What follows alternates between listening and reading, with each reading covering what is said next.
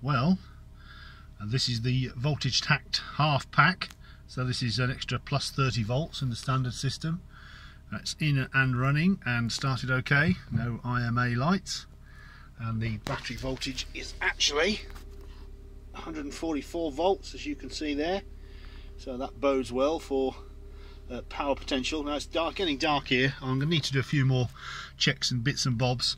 So I'm not actually going to take it for a test run tonight. I'll take it tomorrow. And if that proves satisfactorily, or practice proves satisfactory even, I'll add in the extra half of the pack and that'll boost it up to about 170 plus volts. And uh, that's about as far as we're going to go at this stage. So um, certainly anyway, it's accepted the 30 volts. The DC to DC converter is still working, so there's no uh, ignition warning light or anything like that. That's a possible problem that we might run into when we boost the voltage even higher. But at the moment we've got 144 volts uh, and uh, that's pretty positive. Nice cell balance there, so uh, that's where we are at the moment.